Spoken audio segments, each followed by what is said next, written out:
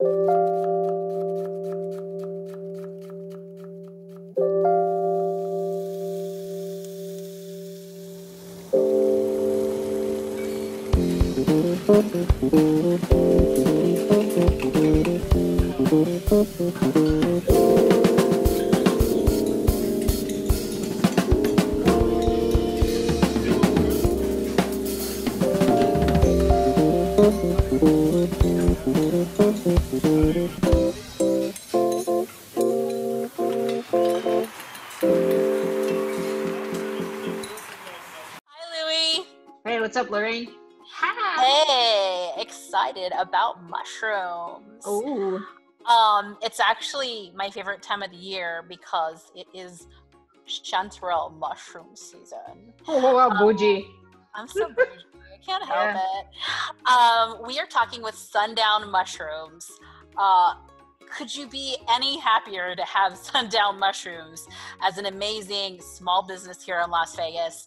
They're just blowing up because they have the most beautiful sought Right. after um, artisanal mushrooms. Just absolutely incredible. So we're going to be talking to Myrene, one of the owners of Sundown Mushrooms. And so, for pandemic provisions, we are Mhm. talking mushrooms. And Mhm. as I said, my favorite is the chanterelle. Louis Bougie. thinks it's bougie as fuck. No, but they're super great. they're so delicious. Okay, so they're them. You really like brush them. You know, they're super rich in flavor. Um, I there's all different kinds. I tend to like the ones that are more like woody, earthy, because I always like that woody, earthy flavor. Um, but because there are so many mushrooms, just in general, and chanterelles, um, there are spicy ones. There are ones that people call fruity, even for chanterelles. Um, read a little history about chanterelle mushrooms. It's actually quite interesting. Um, the reason why they became such a delicacy is because they have to have very specific conditions to grow. Hmm. Um, so they're not found, you know, easily and they don't grow easily. It actually, of course, came to become a delicacy because of, as usual, French culture. Um, back in the 18th century, they started to appear in palace kitchens. So because like kings and queens and dukes and duchesses were eating them, um, you know, just like caviar or fine wines, it became a thing where like you were really high class if you could have a chanterelle mushroom or chanterelle mushrooms in your dinner. And it is that time of year um, right now in the western United States where we are. Uh, it's chanterelle season from September. All right, your mushroom of choice, Louis. Shiitake mushrooms are super flavorful, and they're the Mm. only mushroom that I know that you can actually resurrect from the dead, basically, from being dry and still taste and like has like a, a texture that's pretty good. Yeah. So the growers for shiitake, the leading growers for shiitake, are actually China, a title that Japan once held. yeah, that's what I thought. And here in um, the United States, we grow shiitakes on hardwood logs. So really interesting. Um, love shiitakes. Love like the flavors. Like you can make a broth or a soup out of it. It's just a very hearty mushroom. So you can store them uh, fresh in your refrigerator for a week. Mhm. Um, longer than that, they recommend you actually drying them. So drying is actually a great way to preserve them. So Yeah. yeah, check them out. Yeah, and dry mushrooms, they're amazing. You can buy dry Mhm. mushrooms and they'll last a long time, like in your pantry, and then you can hydrate them when you want to use them. It's a great way to be able to have mushrooms, like different kinds of mushrooms at different times of the year and, you know, preserve them so that they don't go bad so quickly as many things do here in Vegas. Right. Um, in Vegas, there's an amazing mushroom urban farm. It's called Sundown Mushrooms. And we thought we loved mushrooms before this, but now that we've actually had the chance to meet with Myrene, um, I think we might be like amateur mycophiles at this point. Let's take a Mhm. listen. Louis, today we are chatting with Myrene Delos Angeles, the owner and grower at Sundown Mushrooms, and all we hear is amazing things about you and your mushrooms. So we're super excited to have you. The chefs around town, town are super excited to have you in town and selling mushrooms. Thank you for joining us. Well, thanks for having me. All right. You grow and run the company with your bay, your boo. Yes. uh, how did you two become fungi fanatics? planting a jackfruit seed once. So I, I, just got it from the grocery store and that, you know, I, I, was eating the fruit and I was like, these seeds, like, what if I planted it, right? And it sprouted and actually grew over two feet tall. So, like, it, it was like pretty obvious. I was like, it became pretty obvious that even being in the desert, things can definitely try thrive with proper care and nurturing. So I just took it upon myself to learn about mushrooms as much as I can, just self study. And then, you know, I realized that growing mushrooms isn't really that hard. It's hmm. just tedious. So I just I just keep doing it. That just keep mushrooming became kind of like my personal mantra. I was just chanted in my head because like sometimes I'm like, this is t- this is tedious. I'm just like, just keep mushrooming, just keep mushrooming. that is so awesome. Yeah, and then yeah, and then I, I, I as I d- dive more into the the the field of mycology, I took inspiration from other known mycologists during this time, and they pretty much mostly started in a very non-traditional way as well no hmm. proper training and um, i was able to participate and watch Paul Stamets. I don't know if you, you you ladies have heard of him, but basically he's like it's like amazing mycologist and speaks about like this whole world of fungi and it's just like like waves about like mycology and you know right now there's a movement. I feel like there's a movement. Yes. Yes, yeah, so it, it, he's definitely a huge part of that. So I, I saw him speak during a transformational festival, and I just like felt something in me that I haven't just felt before. It's just like magical.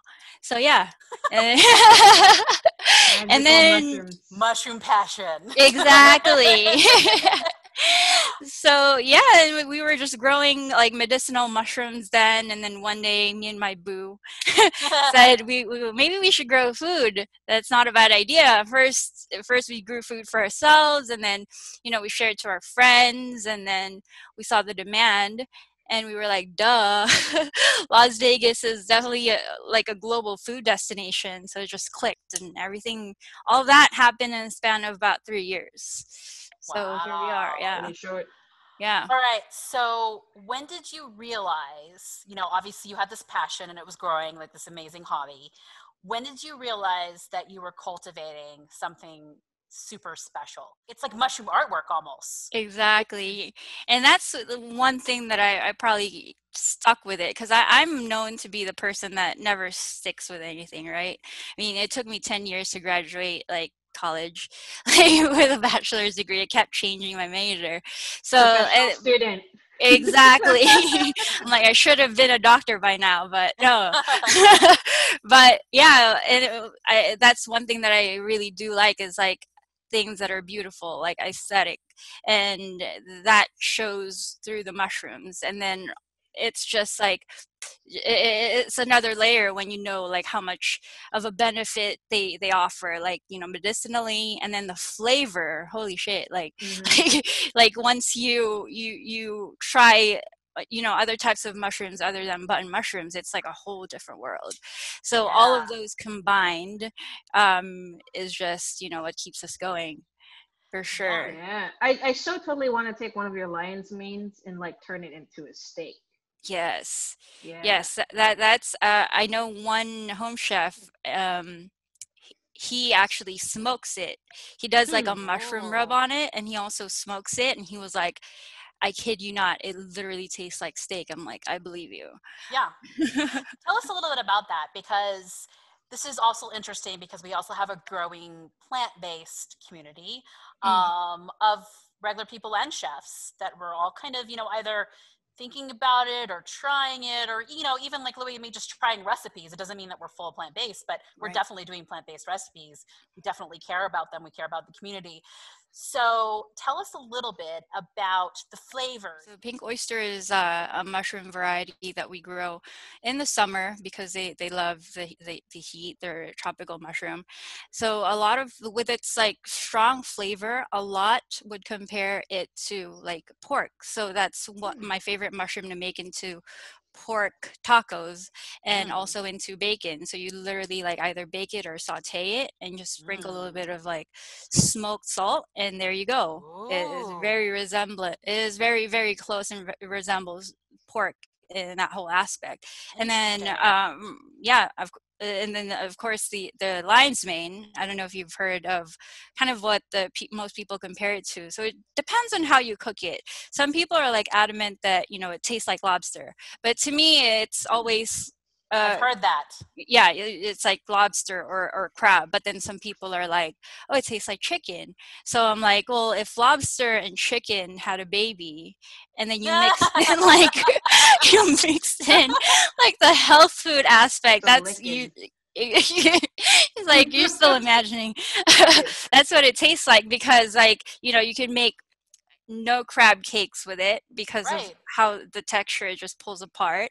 Um, and then you could also make vegan chicken nuggets with it because of that stringy, Right. stringy texture. So you just like batter it up and fry it, and then you like pull it open. It's like no, this is chicken. So you know it. All, all of that and of course like i i am not like a, a chef like i cook here and there and i i do post like recipes on our website but i leave it to the experts and you know they they come back to me and then they tell me what they came up with and i'm just like mind blown like all the creativity that the home chefs are are are, are showing us and of course also the chefs that we work with regularly now which is you know less than a handful hopefully it's it's growing in time oh, it's gonna grow. I know that you're not like a full like nutritionist or anything, but what are some of the things that you've learned and maybe that you've felt by eating more experience, yeah. mushrooms? Yeah, so, so uh, our most popular uh, mushroom that offers the health benefits would definitely be the lion's mane. It's the star because that's kind of the whole, the whole craze when it comes to like supplements these days. Like Mhm. take lion's mane supplements, lion's mane powder, and what it offers if you actually take it on a regular basis, and it's proven, is that it has a NGF or nerve growth factor, and basically it kind of like um yeah it, it revitalizes like your neurons in your brain and Wow. it allows for like n- new neuron growth Oh, yeah Wow. so it's, it's amazing for you know Alzheimer's maybe? yeah prevention of alzheimer's um, my dog actually has like half of his face became like paralyzed and like he couldn't close his left eye and i just get gave him you know lion's mane powder like continuously and now like it's been like improving Wow. and that's yeah, yeah. So I'm just like, I don't know, it's the lion's mane, but like it, it- he his health is improving, so I want to, I'll, I'll take it, I'll take that into account. yeah. Um, yeah, for sure. And then, and besides that, there's also the the mood factor, like the mood alleviating factor for like um, mild anxiety and all that, you know.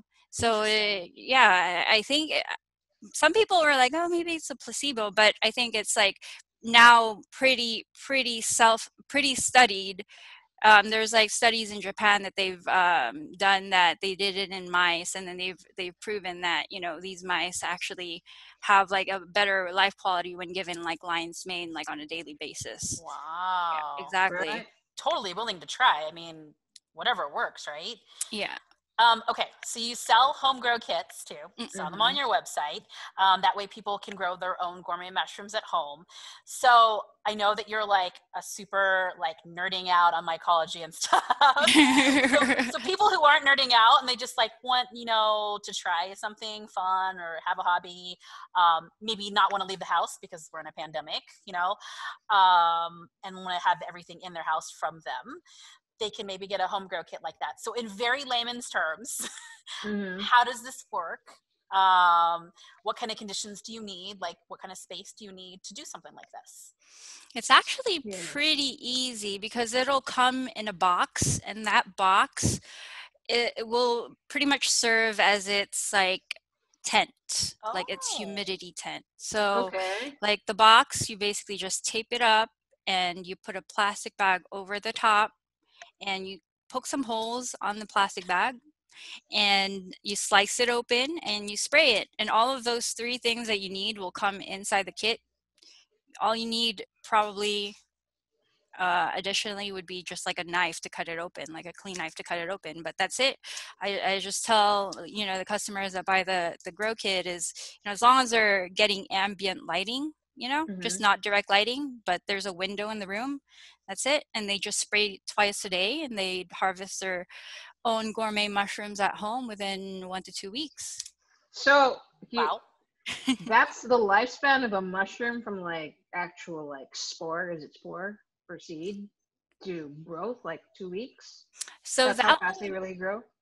from the the two week point is actually that's already kind of uh I want to say three quarters of its life cycle. Okay. The whole cycle would be about eight weeks.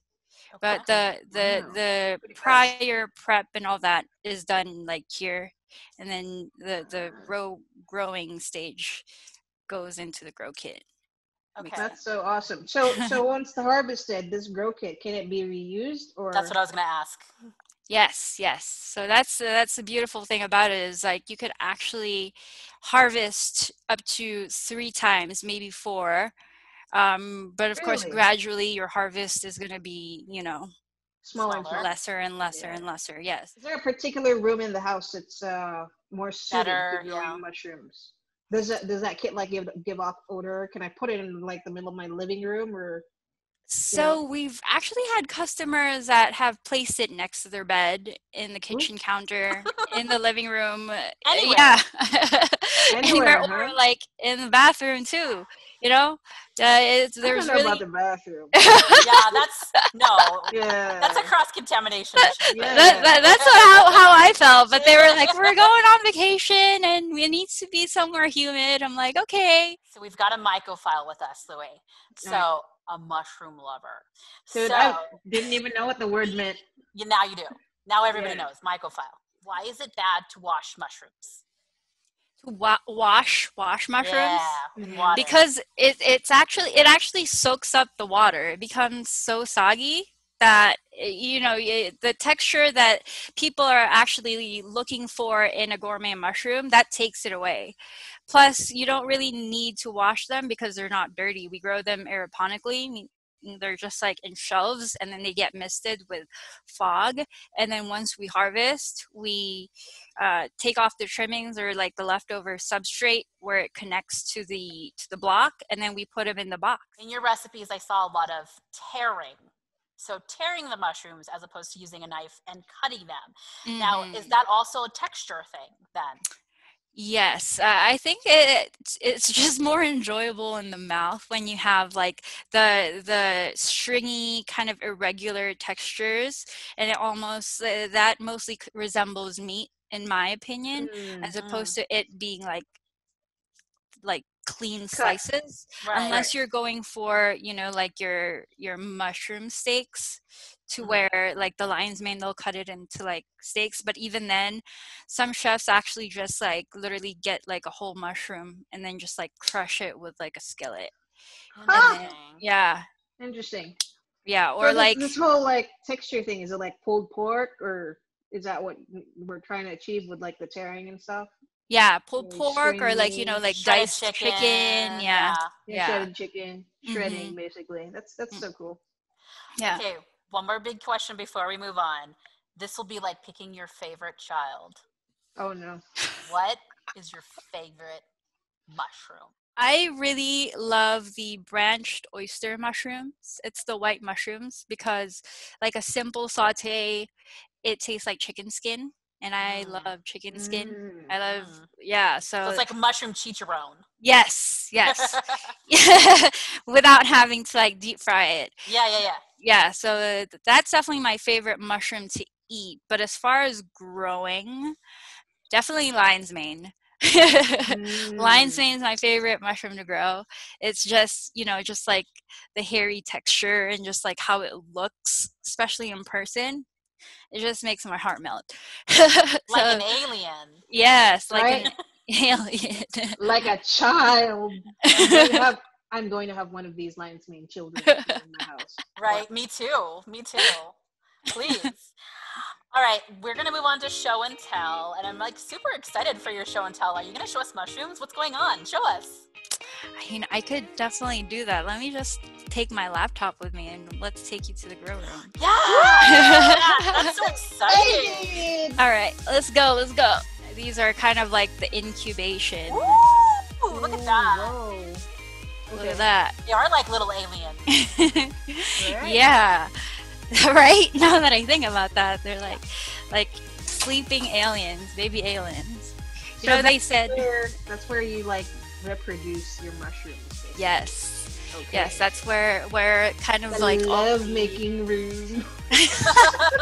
Reproduction room. That's what it is. Much love. Yeah. much love. That's what it is. Here it is. Wow. Yeah. So, will Yeah, the like grow here. the grow kit, the grow kit that you can purchase, will it yield like that big of a mushroom? Yes, with proper care, it would yield this big. I've seen it actually yield bigger. Yeah, Whoa! for some, for, for like the less holes you poke, they actually. So this is like two mushrooms because I poked two holes in this. But if Uh-huh. you you sliced open one hole, it would become like one big mushroom. Wow. Whoa! How many pounds of mushrooms can you like actually harvest like within like a week? Right now, our capacity is between 30 to 50 pounds. That's a And lot. our- Yeah, it's a lot, and it, it's not enough. Yeah. it's not enough. People are hungry for mushrooms, so we're hopefully with this new addition, we our ultimate goal is to bump it up to um, like 100 and eventually 200. But the capacity of this grow space would be up to 300 pounds a week. Now, is there anything special about like the Las Vegas climate that makes it like so super great for growing mushrooms? Actually, it's what we have here in the desert is everything against what mushrooms like. So, oh, okay. Yeah. So basically, the, uh, growing indoors is definitely beneficial, or it's the only way you could grow mushrooms in the desert because you know you you control the humidity, you control the temperature. Um, but even then, we still grow with the season. So even though we're an indoor farm, we we still say it's seasonal mushrooms because you know we don't want to be growing like a strain that loves to be in the 80s like in the winter time because like you know it's just not i guess not conscious as far as like our energy usage For sure. Right. yes so so th- definitely the humidity is a huge factor but even then with us like regulating humidity we actually don't use that much water We're gonna move on to on the fly. 60 seconds, rapid fire questions. Favorite shroom entree? mushroom chicharron Ooh. Whoa, I want to ah! have some of that. What's your favorite binge-worthy show? game of thrones Okay. if you could have a superpower, what would it be? teleportation She's like the second one. Yeah, What's good with teleportation today? Childhood favorite food. sorbetes the ice cream filipino ice cream dream place to forage for fungi. Oh man, Oregon. Really? Somewhere in Oregon, yeah. Your mushroom growing music. FKJ, or the genre is called Vapor Soul, but FKJ, he's an artist. I don't know if you guys like listen to him, but he's he's a, he's a bomb. Vapor? listening to him. Vapor. Vapor Soul? Vapor Soul is a genre. That's what Spotify is calling it. But as far as like artists goes, it's FKJ. Your holiday side dish. Green bean casserole. I love green bean casserole, and then sprinkle it with like some crispy mushrooms on top. Elevate it a little bit. Yeah. Mm. Hmm. Please. Comfort food craving. Uh, I want to say definitely lumpia. Mm. Filipino. Number one on your bucket list. Definitely travel more. I want to backpack in Southeast Asia, you know, Thailand, um, like India, uh, all, all the, the kind of like that whole part of the continent. For We're sure. still hoping. Sometimes soon. Yeah. um, last thing, Myrene, let's go ahead and sell it for Sundown Mushrooms. How do we reach you? What's going on? It's your time. Yes, so the easiest way to reach us is definitely through Instagram, and that's also where we kind of um, communicate with most of our customers. We post like our latest products. You know, we, we get creative with the products that we sell. So, and Instagram's always the first to know, even first before we post it up on our website. So, our Instagram is just Sundown Mushrooms, and our website is sundownmushrooms.com. And uh, we pop up everywhere around town, but we are regulars over at the downtown Third Intuitive Foragers Farmers Market on Fridays from 9 a.m. to 2, and at Fresh 52 in Henderson Sundays from 8:30 a.m. to 1 p.m.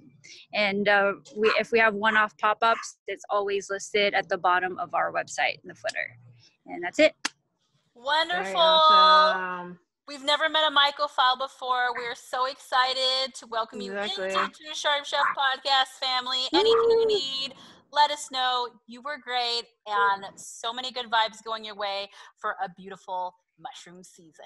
Thank you. And I'll have your grow kits your way, yeah. ladies. I got you. Oh my goodness. we want our nerdy kid.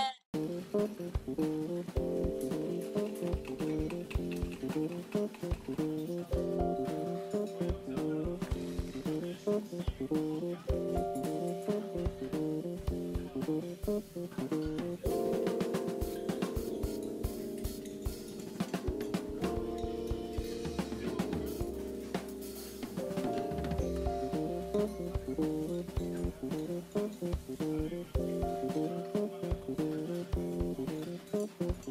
you.